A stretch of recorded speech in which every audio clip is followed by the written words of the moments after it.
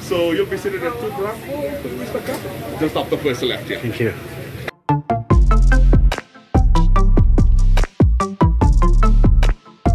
An exotic Fijian getaway is now that much closer for Canadians with the launch of Fiji Airways commercial flights to and from Vancouver.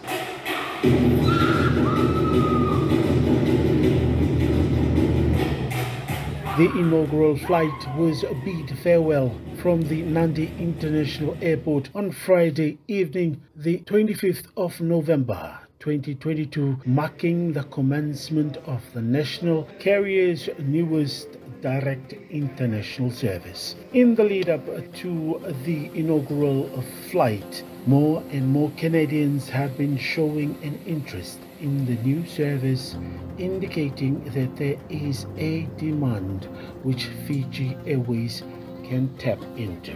The new route has also provided convenient onward connections between Australia, New Zealand, and Canada as well as seamlessly connecting other Pacific Island countries.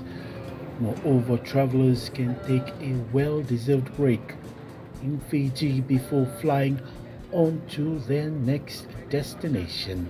On extra wide body Airbus fleet also provide more capacity for cargo, enabling an increase in trade between Fiji and Canada, as well as other Pacific Island nations looking for new trade opportunities.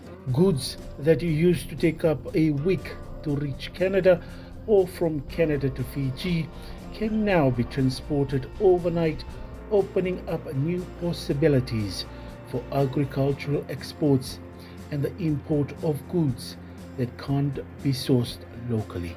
The airline has also held talks with the Biosecurity Authority of Fiji to ensure that a regulatory pathway is open for our exports with biosecurity's counterpart in Canada.